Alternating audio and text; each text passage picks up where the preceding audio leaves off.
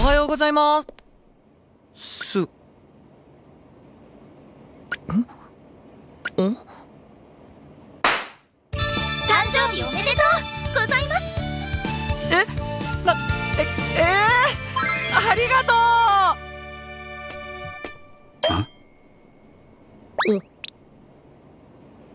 お前さん誕生日なのか？あはい。実は もっと早く知ってるやくそいやでも別にそんな。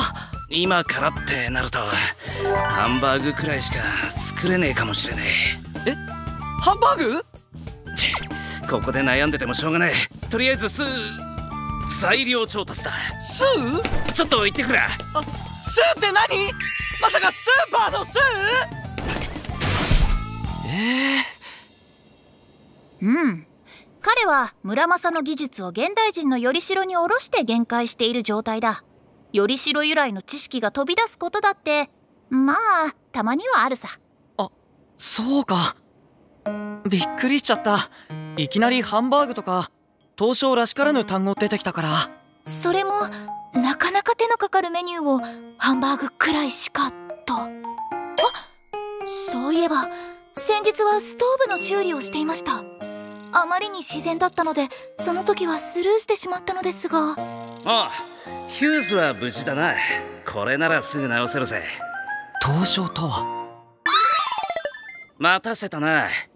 勝手がわからんもんでいろんなやつに聞いて回ってたら時間食っちまった。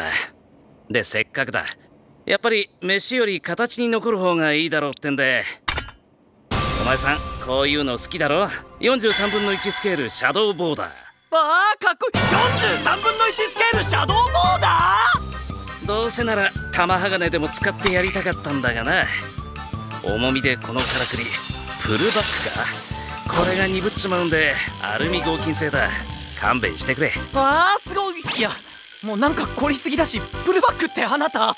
まあそれでもそこそこ重てえからよ。飽きたらペーパーウェイトにでもしてくれ。ペーパーウェイト？そんでもって飯よりとは言ったがこいつはねえとだろ。バースデーケーキたんと食いな。東証とは。シルエットクイズ。このシルエットは何でしょう？うーんあれかな？それともこれかな？正解はこちら。わかったかな？次回もお楽しみに。無理だよこんなの